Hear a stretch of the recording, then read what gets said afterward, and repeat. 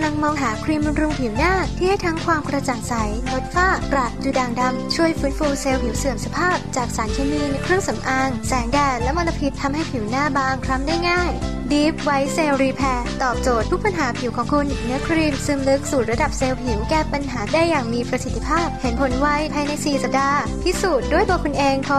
0846132424 หรือ 0903450133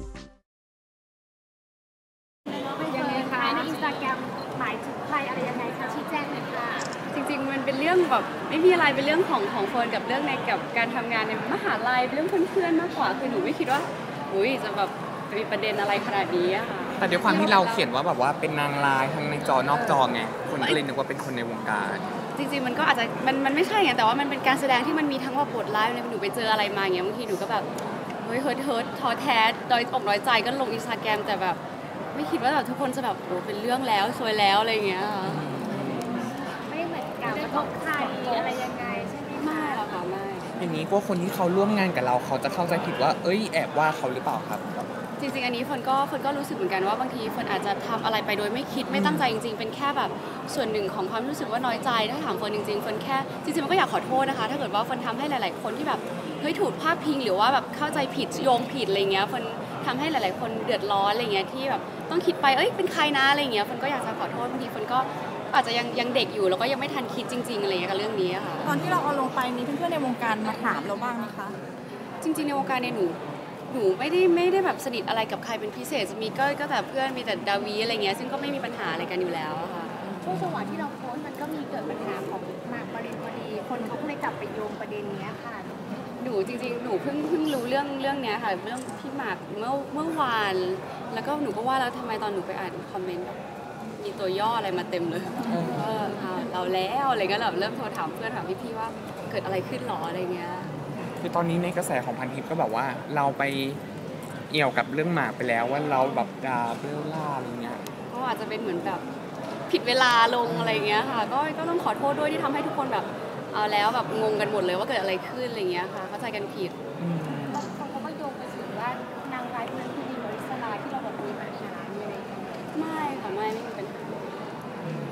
แล้วอย่างนี้เราได้ clear กับคนที่เรามีปัญหาด้วยหรือยังครับ อย่างกับเพื่อนที่อยู่มหาลัยจริง ๆ อาจจะเป็นเพราะเฟิร์นใจร้อนด้วยค่ะวันนี้ถ้าเฟิร์นมาทบทวนแล้วบางทีมันก็เป็นบทเรียนของเฟิร์นด้วยอย่างหนึ่งเพราะว่าคนเรามันก็มีก็มีหลายชนิดเนาะหลายหลายอย่างบางทีบางทีลงไปก็ได้ทั้งเตือนสติตัวเองแล้วถ้าเกิดหลาย ๆ คนได้อ่านบางทีก็เตือนสติทุกคนด้วยอะไรอย่างเลยค่ะแชร์แชร์กันมากกว่า ตอนที่เราลงปุ๊บมีคนมาเตือนเราไหมคะว่าเออข้อความเรามันแบบไปกระทบใครหลาย ๆ คนอะไรอย่างเงี้ยค่ะ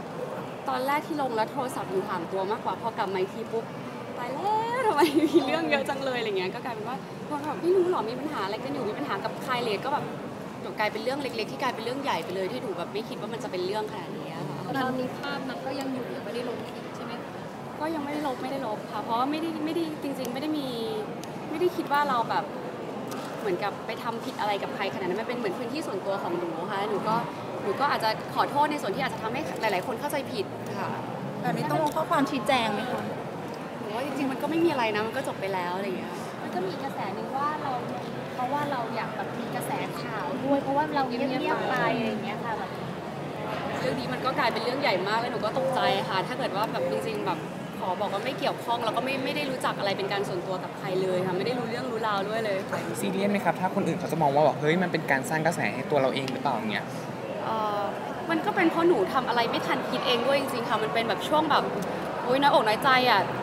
เฮิร์ตอะไรเงี้ยลงเลยดีกว่าแล้วก็อ้าวแบบผิดเวลาอะไรเงี้ยไม่ควรอะไรเงี้ยแสดงว่า ส่วนทำให้คนมองว่าลุคเราแบบเปลี่ยนไปเลยไหมเฟิร์นจากแบบสาวน้อยกลายเป็นแบบสาวแรงอะไรอย่างเงี้ยแรงไหมเหรอหนูว่ามันหนูก็หนูก็เป็นแค่เด็กคนนึงที่แบบมันก็มีเรื่องกระทบจิตใจบ้างอะไรเงี้ยค่ะแล้วหลังจากนี้เราต้องระมัดระวังไหมครับแบบว่าเวลาจะโพสต์อะไรแบบลงโซเชียลเงี้ยก็ก็ต้องระมัดระวังขึ้นค่ะก็เป็นบทเรียนมากอะค่ะ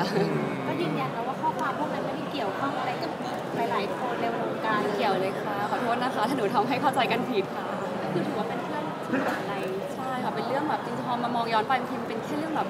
เรื่องเพื่อนเรื่องน้อยใจมากกว่า แล้วอาจจะแบบลงในจังหวะที่มันมันไม่ไม่ถูกต้องไม่ควรอะไรอย่างเงี้ยค่ะแล้วถ้ากับเพื่อนคนนั้น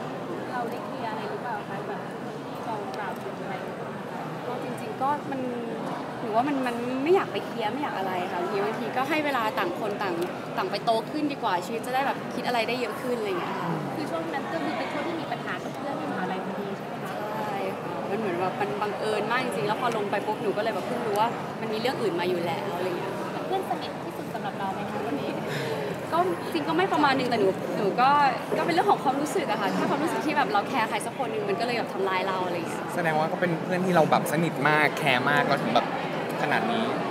ก็จริงๆหนูเป็นหนูแบบหนู care เพื่อนทุกคนที่หนูรู้สึกว่าเนี่ยเพื่อนหนูอะไรเงี้ยมันก็จะเป็น feel แบบเอ้ยเพื่อนเพื่อนเขาว่าเพื่อนมันดูแบบยิ่งใหญ่อะไรเงี้ยค่ะกับเพื่อนคนนี้ยังคุยคบอะไรกันอยู่ได้ไหมก็หนูว่าแต่ว่าเดี๋ยวว่าทุกอย่างพอผ่านเวลาผ่านไปหนูว่าเดี๋ยวก็ดีขึ้นเพราะตอนนี้พอหลังจากที่หนูใจร้อนลงไปเงี้ยพอหนูได้ไปเราทบทวนอย่างเงี้ยหนูก็รู้สึกว่าเฮ้ยหนูก็โตขึ้นนะหนูก็อาจจะทำไม่ได้ถูกอะไรเงี้ยค่ะยืนยันหน่อยครับว่าไม่ใช่คนในวงการแน่นอนที่เราไม่พัดใช่ค่ะ โอเคค่ะไม่สั่นหมดเลยอะพี่ยังเป็นห่วงท่านตาไปไปค่ะแล้วก็แล้วก็ขอทานเพ ราะผิวหน้าเป็นความละเอียดอ่อนของผู้หญิงซากุระแม็กซ์ออร่าเซรั่มเซรั่มบำรุงผิวหน้าสุดใหม่ล่าสุด ช่วยผลัดเซลล์ผิวเก่า อันเป็นสาเหตุของหน้าหมองคล้ำ ฝ้ากระจุดด่างดำ ลึกถึงอนูเซลล์ผิวหน้าเพื่อให้เซลล์ผิวกำเนิดใหม่แข็งแรง นุ่ม รูขุมขนกระชับลดเรือนริ้วรอยให้ตื้นขึ้นและเรียบเนียน พร้อมกลิ่นหอมซากุระอ่อนๆ ผิวหน้ากลับมาสดใสอีกครั้งอย่างเป็นธรรมชาติ พิสูจน์ด้วยตัวคุณเองโทร 0846132424